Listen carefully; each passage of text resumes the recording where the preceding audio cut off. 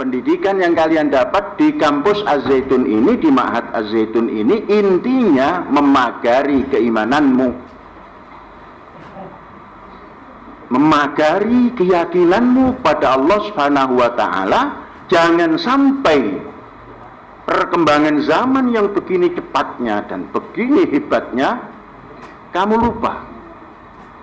Nah, sudah kepada perkembangan zaman saja Allahnya di lepas.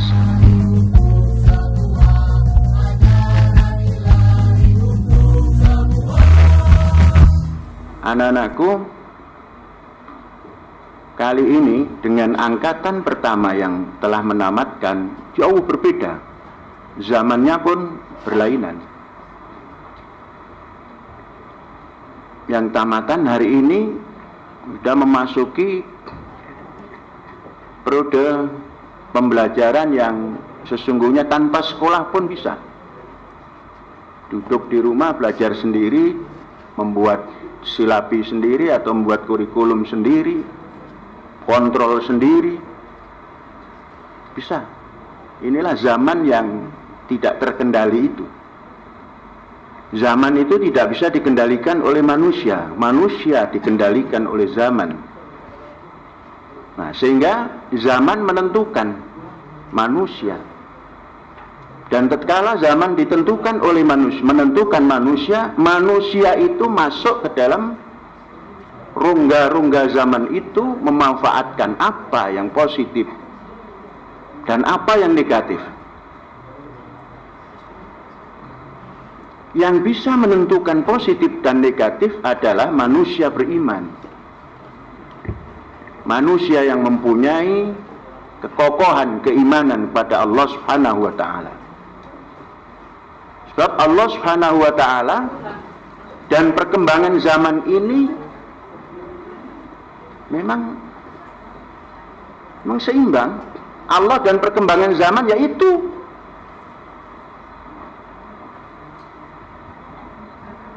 Jadi Allah punya punya istilah kalau orang mengistilahkan Allah itu alim.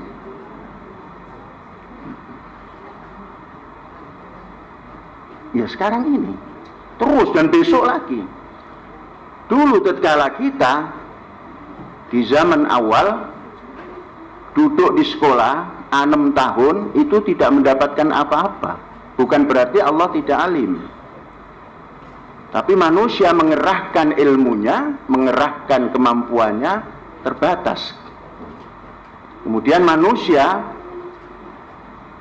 bersharing satu dengan yang lain yang jumlahnya semakin banyak, maka ilmu Allah yang diberikan kepada manusia 100% itu pelan-pelan membubung. Dan keluarlah kemajuan demi kemajuan.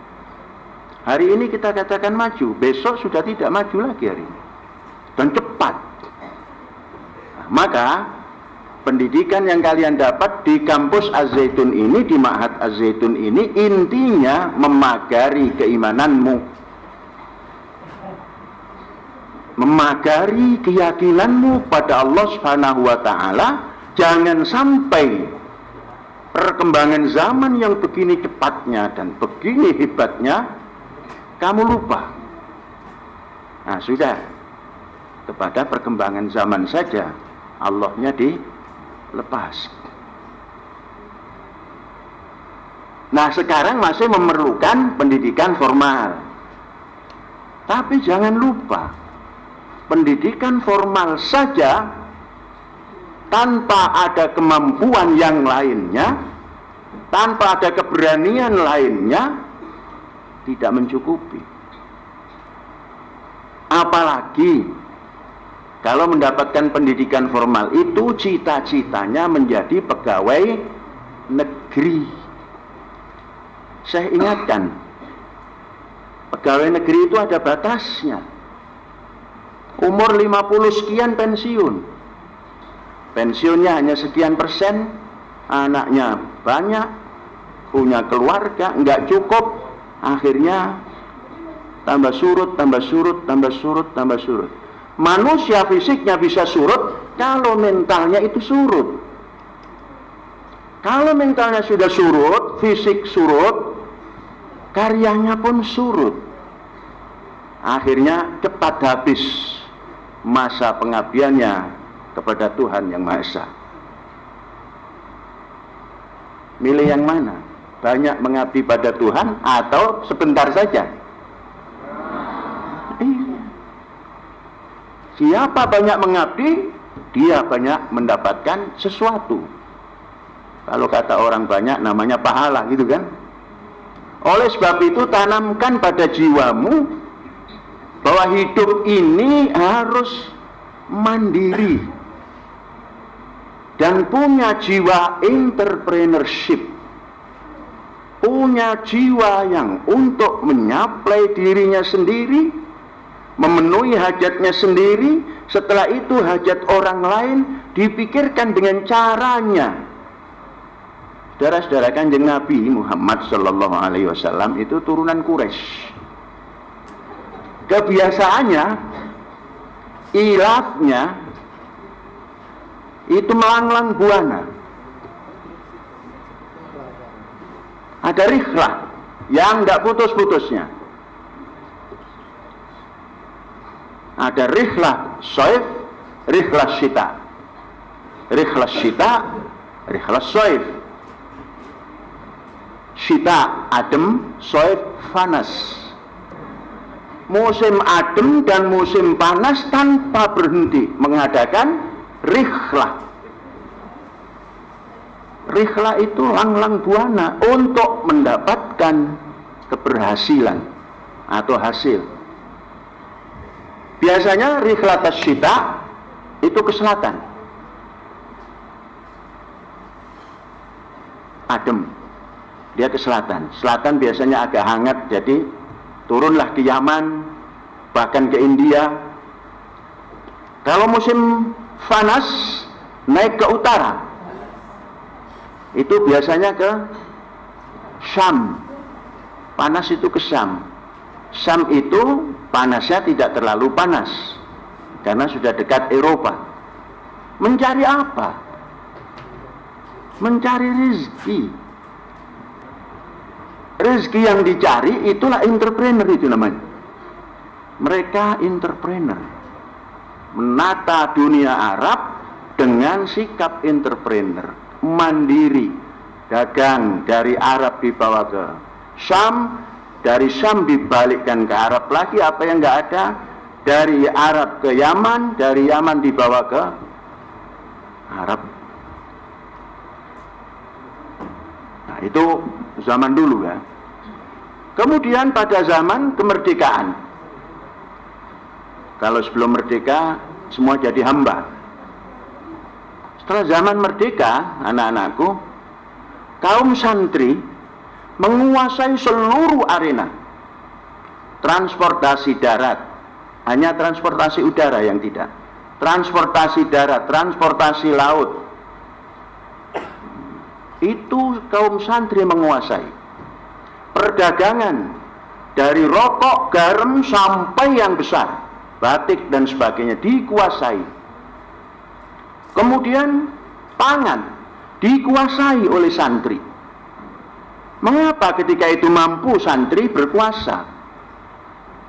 Dalam arti berkuasa dalam bidang kehidupan ekonomi. Karena mandiri, karena tidak ada santri yang masuk menjadi pegawai negeri. Toh kalau punya gaji, dia masuk ke politik. Masuk ke politik menjadi anggota parlemen, dia dapat gaji. Berhenti dari parlemen, dia dapat pensiun. Tapi jadi pengusaha dia. Mengapa jiwa santri ketika itu begitu kokoh? Karena tidak kepincut. Tahu kepincut?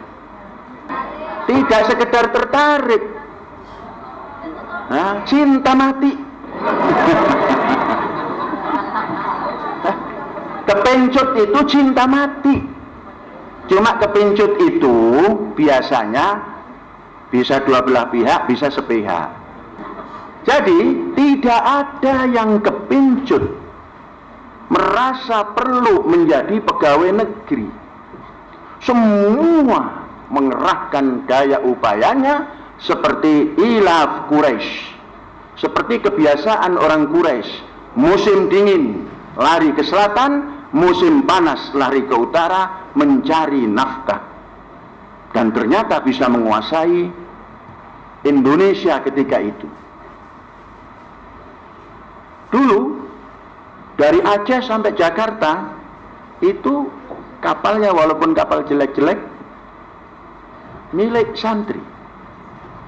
Yang pulau Jawa sampai ke luar Jawa punya santri. Perdagangan kopra dari Kalimantan, dari Sulawesi, dari NTT, NTB masuk ke Surabaya bersama santri, dikuasai santri. Kapan santri ini kehilangan karakter? Karakter apa namanya? Entrepreneur. Tatkala dibuka menjadi guru agama. Nah, guru agama berbisnis, ber-SK, bergaji mulai. Enakan jadi guru ya, nggak pakai capek. Guru bergaji bukan menggaji diri sendiri. Kalau Ustadz Budi ini guru tapi menggaji diri sendiri. Iya kalau tidak ada infak ya nggak masuk ya dapat. Nah, seperti guru-guru semua ini gaji diri sendiri.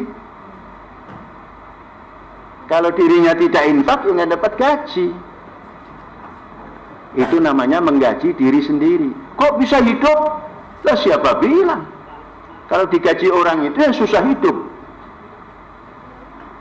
Jadi tatkala keluar peraturan Menteri Agama, sesungguhnya itu seperti seperti membangkitkan ya, seperti seperti memajukan. Ketika itu kalau tidak salah tahun 60-an ini. Semua guru diangkat semua orang diangkat menjadi guru agama. Yang sekolah, yang tidak sekolah, yang yang penting duduk di masjid gitu saja, membaca Quran di masjid, diangkat jadi guru. Nah, mulailah berlomba-lomba. Setelah itu ingin juga tidak hanya sekedar guru.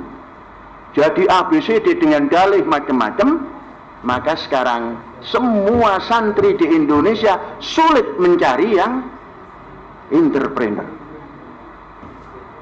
Nah, saya sarankan kalian jadilah kamu orang yang memiliki skill yang mumpuni dan bisa mengatasi problem hidup khususnya ekonomi. Wah ekonomi nggak penting kata siapa? Mau pesan kanjeng Nabi, kalau kamu ingin hidup panjang, hidupmu ini tanamkan di jiwamu untuk mencari dunia ini seakan-akan hidup tanpa batas. Jadi kalau mencari ekonomi, nafkah hidup, kehidupan dunia lantas setengah-setengah nggak dapat. Harus tungkus lumus tanpa batas. Tapi karena kita ini mempunyai akidah yang kokoh, maka tidak lupa pada Tuhan yang Maha Esa, pada Allah Subhanahu wa taala. Nilai-nilainya kita jalankan, ajarannya kita jalankan. Apa itu kalau bukan entrepreneur? Kanjeng Nabi mengajarkan entrepreneur yang tinggi, Sekarang anak-anakku, orang berdagang tidak pakai modal sudah bisa. Punya kawan diambil, dimasukkan ke internet, tek tek tek tek tek siapa mau beli ini ada tek kirim. Apalagi kalau ongkir tanggung sendiri. Tambah nggak pakai modal. Nah, kawanmu banyak. Oh, kawan belum punya produk Minta ke Syekh sini banyak produknya ini. Saya saya tawarkan. Jadi kalau semua ini bergerak seperti itu, di kampus ini tambah semangat. Tambah semangat. Orang kamu belum apa-apa saja, kampus sudah menata ulang apa yang dulu pernah ditata, dirombak kembali. Khususnya yang berkaitan dengan ekonomi. Yang tadinya sawah mujur ngalor ngidul sekarang ngetan ngulon. Kalau dulu sawahnya sepetak-sepetak kecil-kecil, sekarang petak besar. Kalau dulu airnya susah jauh, ngambil dari tanah, ngambil dari kali, selangnya ratusan meter sampai 500 meter. Sekarang tinggal dehem. Gedruk bumi, air masuk. Mengapa? Ya seperti itu. Nah kalau kalian juga seperti yang di kampus ini semangat, kemudian kalian mendukung sebagai lambang entrepreneur dan tidak pernah putus dengan kampus ini, ah semua jalan. Produk-produk yang akan dibuat yang bernilai ekonomi, mau ekonomi tinggi, mau ekonomi biasa, terus dibuat di sini. Terus dibuat. Kemudian lingkungan seakan-akan sekarang ditebang hutannya. Besok kalian satu tahun ke depan datang kemari sudah beda lagi. Oh, seperti begini sekarang ya. Kalau kalian tidak mengikat erat-erat pada alma mater ini, nanti menjadi orang asing lagi. Semua ini supaya melihat, terus direkam, Terus nanti dalam perjalanan hidup, oh saya melebihi. Apaan kampus saya masih kecil. Buat yang besar, oh itu berhasil namanya.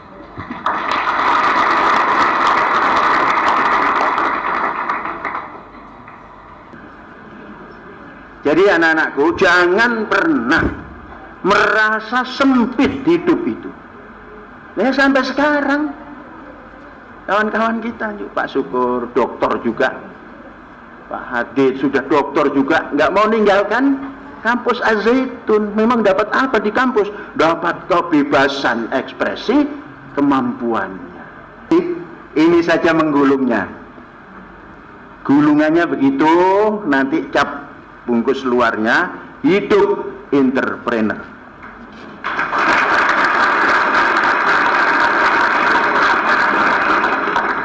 I'mal lidunyaka ka'annaka ta'ishu abadan. Wa'mal li akhiratika ka'annaka tamutu ghadan. Allahumma ya Allah aku ini terbit berdiri dari bumi tanah air yang subur Hidupkan kami seperti kesuburan tanah airku ya Allah. Aku ini kader bangsaku dan negaraku yang subur makmur ini. Hidupkan kami dengan kesuburan dan kemakmuran. Rabbana atina fid dunya hasanah fil akhirati hasanah wa qina adzabannar. Mudah-mudahan semua selamat dan kalian selamat selamat menjalankan tugas hidup yang masih panjang jauh ke depan. Hmm.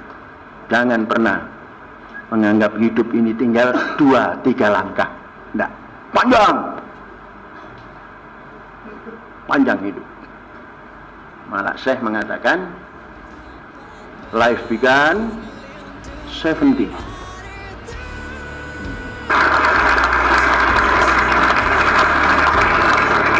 Wallahu yar'ana wa walhamdulillahi rabbil alamin.